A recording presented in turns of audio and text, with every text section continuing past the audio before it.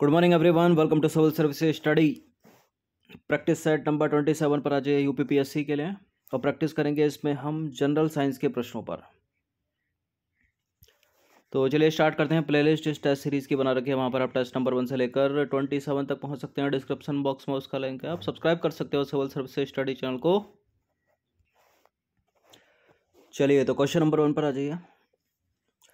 निम्नलिखित कथनों पर विचार करेंगे। दो स्टेटमेंट के साथ बताइए कौन सा करेक्ट है। डायनामो यांत्रिक ऊर्जा को विद्युत ऊर्जा में परिवर्तित करता है, यानी काइनेटिक एनर्जी को इलेक्ट्रिक एनर्जी में चेंज करता है डायनामो पहला स्टेटमेंट यह कहता है।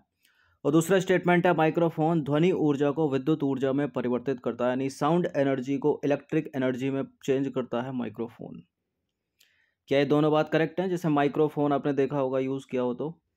उसमें बोलते हैं तो उसको आवाज़ जो है ध्वनि ऊर्जा में परिवर्तित हो जाती है, ठीक है? उसको कम ज़्यादा कर सकते हैं। तो बिल्कुल ये करेक्ट है, दोनों के दोनों स्टेटमेंट सी है इसका आंसर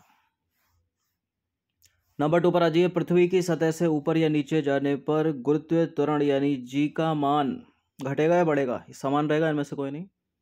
पृथ्वी की सतह की बात हो रही है सरफेस पृथ्वी की सतह से ऊपर या नीचे जाने पर गुरुत्व त्वरण का मान जो है वो घटता है। ठीक है? ए है इसका आंसर और पोल्स पर अधिकतम होता है। तो पृथ्वी की सतह से ऊपर या नीचे जाने पर गुरुत्वाकर्षण जी का मान जो है वो घटता है और पृथ्वी के ध्रुव पर जी का मान जो है अधिकतम होता है, महत्तम होता है और विश्वत रेखा पर जी का मान न्यूनतम होता है इक्वेटर पर।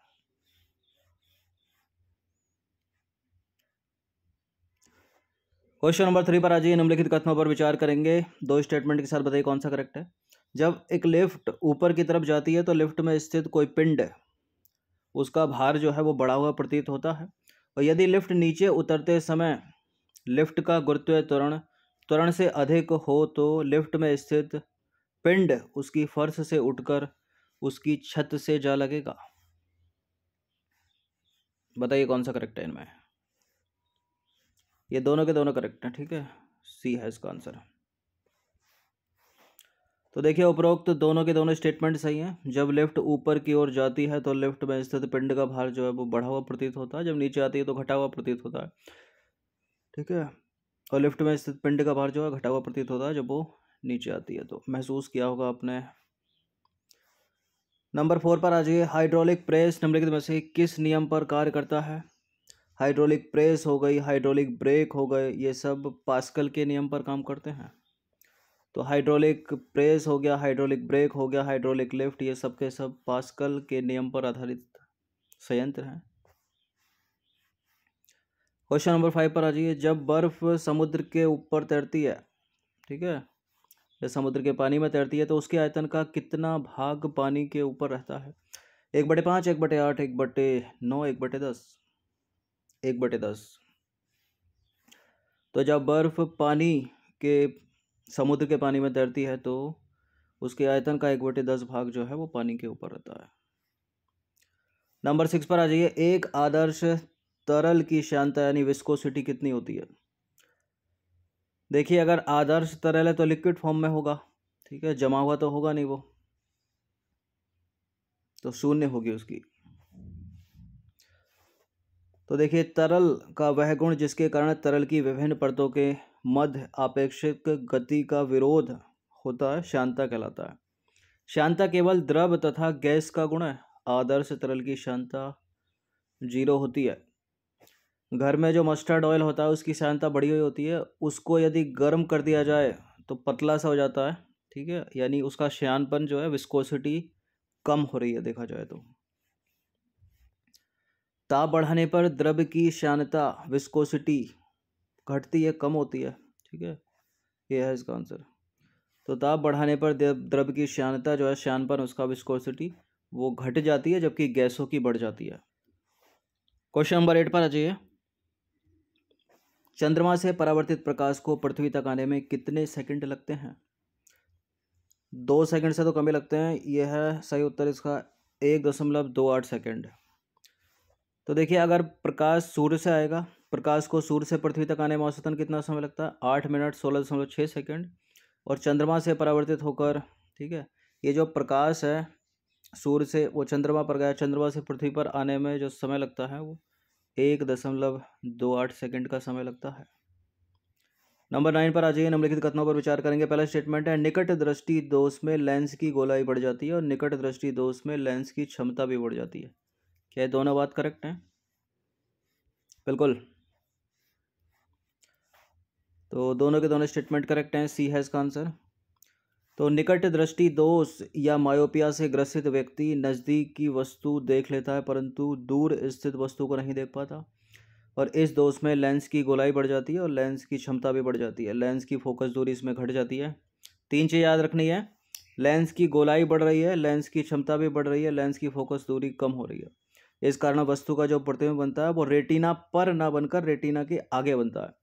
और निकट दृष्टि दोष के निवारण के लिए अवतल लेंस का प्रयोग किया जाता है, याद रखिएगा। दसवां प्रश्न है, निम्नलिखित कथनों पर विचार करेंगे। दो स्टेटमेंट के साथ बताइए, कौन सा करेक्ट है? जरा दृष्टि दोष में वृद्धावस्था के कारण आँख की सामंजस्य क्षमता घट जाती है या समाप्त हो जाती है, जिसके कारण व्यक्ति ना तो दूर और ना ही निकट की वस्तु देख पाता है। जरा दृष्टि दोष इसको बोलते हैं इंग्लिश में प्रेस वायोपिया इसके निवारण हेतु वाई फोकल लेंस का उपयोग किया जाता है। बिल्कुल ये करेक्ट है दोनों के दोनों स्टेटमेंट ग्यारहवा प्रश्न है, निम्नलिखित कथनों पर विचार करेंगे। पहला स्टेटमेंट पहला स्टेटमेंट विद्युत धारा एक सदिश राशि है और विद्युत धारा का ही मात्रक है एम्पियर। एग्ज़ाम में बड़ा पूछते हैं इसको। बिल्कुल विद्युत धारा का ही मात्रक एम्पियर है, लेकिन विद्युत धारा एक आदेश राशि है। गलत है पहला वाला स्टेटमेंट तो किसी चालक में विद्युत आवेश के प्रवाह की दर को विद्युत धारा कहते हैं। विद्युत धारा की दिशा, धन आवेश की गति की दिशा की ओर मानी जाती है और इसका जो ऐसा ही मात्रक है वो एम्पियर है और विद्युत धारा एक आदेश राशि है, ना कि सदेश। क्वेश्चन नंबर बारह पर आ जाइए निम्नलिखित में से कार्बन पेपर के आविष्कारक कौन है? कार्बन पेपर के आविष्कारक हैं रॉल्फ बेजबुड, ऑप्शन नंबर ए। तो कार्बन पेपर के आविष्कारक रॉल्फ बेजबुड थे और इनका संबंध है इंग्लैंड से। नंबर थर्टीन पर आ जाइए निम्नलिखित कथनों पर विचार करेंगे। पहला स्टेटमेंट है हाइड्रोजन बम का आविष्कार अमेरिकी वैज्ञानिक ने उन्नीस सौ बावन में किया था और हाइड्रोजन बम नाभिकीय संलयन पर आधारित है। संलयन पर आधारित है, विखंडन पर आधारित है, विखंडन पर परमाणु बम होता है हाइड्रोजन बम संलयन पर आधारित है। तो करेक्ट है, दोनों के दोनों स्टेटमेंट हाइड्रोजन बम परमाणु बम की अपेक्षा एक हज़ार गुना तक अधिक शक्तिशाली होता है, एक हज़ार गुना। नंबर फोर्टीन पर आ जाइए, निम्नलिखित कथनों पर विचार करेंगे। पहला स्टेटमेंट है, नाविकीय रिएक्टर में मंदक के रूप में भारी जल या ग्रेफाइड का प्रयोग किया जाता है। मंदक रिएक्टर में न्यूट्रॉन की गति को धीमा करता है। बिल्कुल ये करेक्ट है, दोनों के दोनों स्टेटमेंट सी है इसका आंसर क्वेश्चन नंबर फिफ्टीन पर आ जाइए। घुलनशील नमक मिलाने पर जल का पृष्ठ तनाव घट जाएगा, बढ़ जाएगा, ज़ीरो हो जाएगा, प्रभाव नहीं पड़ेगा। प्रभाव तो पड़ेगा। घुलनशील नमक मिलाने पर जल का पृष्ठ तनाव जो है वो बढ़ जाता है। तो घुलनशील नमक मिलाने पर जल का पृष्ठ तनाव बढ़ जाता है सरफेस टेंशन नंबर सिक्सटीन पर आ जाइए। निम्नलिखित में से कौन सा स्टेटमेंट जो है वो गलत है? टाइफाइड होना एंथ्रेक्स होना मुहासे निकलना बैक्टीरिया के कारण। डेंगू, खांसी, जुकाम इन्फ्लुएंजा वायरस सामान्य त्वचा रोग, फंजाई यानी फंगस, निंद्रालु व्याधि लीसमानिया प्रोटोजोआ। देखिए, निंद्रालु व्याधि लीसमानिया प्रोटोजोआ गलत है यहाँ पर, बाकी सामान्य त्वचा रोग, फंजाई सही है, डेंगू, खांसी, जुकाम, इन्फ्लुएंजा वायरस सही है, टाइफाइड, एंथ्रेक्स, मुहासे, बैक्टीरिया सही है। निंद्रालु व्याधि निंद्रालु व्याधि होती है ट्रिप्नोसोमा प्रोटोजोआ से।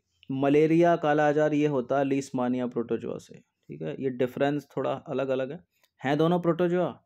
लेकिन लीसमानिया ट्रिप्नेसोमा प्रोटोजोआ, काला आजार बड़ा पूछा एग्ज़ाम में, ये लीसमानी ठीक है लीसमानिया प्रोटोजोआ से, मलेरिया और काला आजार लीसमानिया प्रोटोजोआ निंद्रालु व्याधि ट्रिप्नेसोमा प्रोटोजोआ। सेवनटीन है, निम्नलिखित कथनों पर विचार करेंगे, ध्वनि तरंगे अनुप्रस्थ तरंगे, ध्वनि तरंगे अनुदैर यांत्रिक तरंगे। देखिए, ध्वनि तरंगे अनुदैर तरंगे हैं, पहला स्टेटमेंट ये लिखा है, अनुप्रस्थ अगर होता तो गलत हो जाता स्टेटमेंट सही है। ध्वनि तरंगे यांत्रिक तरंगे भी हैं। दोनों के दोनों करेक्ट हैं। तो सी है इसका आंसर तो ध्वनि तरंगे यांत्रिक तरंगे हैं और ध्वनि तरंगे अनुदैर्ध तरंगे हैं, अनुप्रस्थ है तो उसको हटा दीजिए। देखिए, ध्वनि तरंगे निर्वात में संचरित नहीं हो सकती, लेकिन प्रकाश बहुत तीव्र गति से निर्वात में संचरित होता है। ध्वनि तरंगों के संचरण के लिए माध्यम की आवश्यकता होती है। क्वेश्चन नंबर एटीन पर आ जाइए। प्रकाश वैद्युत प्रभाव की खोज निम्नलिखित में से किसने की थी? खोज की बात हो रही है। इसका उत्तर है हेनरिच रुडोल्फ हर्ज ने ऑप्शन नंबर ए। तो हेनरिच रुडोल्फ हर्ज ने प्रकाश वैद्युत प्रभाव की खोज की, जिसकी बाद में अल्बर्ट आइंस्टाइन ने व्याख्या की। और आवर्ती के एसआई माद्रक का नाम जो है, इन्हीं के नाम पर हर्ज रखा गया। इन्होंने ही जे सी मैक्सवेल के विद्युत चुंबकीय सिद्धांत की प्रयोगों द्वारा पुष्टि की, हेनरिच रुडोल्फ हर्ज ने नंबर नाइनटीन पर आ जाइए, ध्वनि का वह लक्षण जिससे उसके मोटे होने या पतले होने का निर्धारण होता है, क्या कहलाता है? क्या कहलाता है? तरंग धैर्य तो नहीं कहलाता, आवृत्ति नहीं है तारत पिच बोलते हैं इसको इंग्लिश में। देखिए, ध्वनि का वह लक्षण जिससे उसके मोटे या पतले होने का निर्धारण होता है, तारत्व कहलाता है, इंग्लिश बोलते हैं इसको पिच। दूसरे शब्दों में किसी उत्सर्जित तो ध्वनि की आवृत्ति को मस्तिष्क जिस प्रकार अनुभव करता है, उसे तारत्व कहते हैं। यदि आवृत्ति उच्च है तो तारत्व भी ऊँचा होगा, यदि आवृत्ति निम्न है, यानी फ्रिक्वेंसी निम्न है ध्वनि की तो तारत्व भी निम्न होगा। नंबर ट्वेंटी पर आ जाइए। ध्वनि की चाल के संदर्भ में निम्नलिखित कथनों पर विचार करेंगे। पहला स्टेटमेंट है, ध्वनि की चाल प्रकाश की चाल से कम होती है। बहुत कम होती है, सही है स्टेटमेंट ठोस से गैसीय अवस्था की ओर जाने पर ध्वनि की चाल बढ़ती है। देखिए, ध्वनि की चाल ऐसे कम होती है। ठोस, उसके बाद द्रव और फिर उसके बाद गैस। यानी सबसे अधिक ठोस में होगी, उससे कम द्रव में होगी और उससे कम गैस में होगी। तो ये तो गलत हो गया फिर। माध्यम का ताप बढ़ाने पर ध्वनि की चाल भी बढ़ जाती है, ये सही है।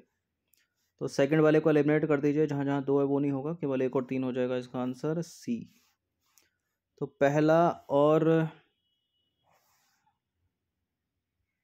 तीसरा प्रिंटिंग मिस्टेक होगी पहला और तीसरा सही है, जबकि दूसरा गलत है। तो ध्वनि की चाल प्रकाश की चाल से बहुत कम होती है। ठीक है? देखिए, ठोस से गैस, दूसरा गलत है क्योंकि ठोस से से गैसी अवस्था की ओर जाने पर ध्वनि की जो चाल है वो घट जाती है। सबसे अधिक ठोस में होती है, उसके बाद द्रव में और सबसे कम होती है गैस में।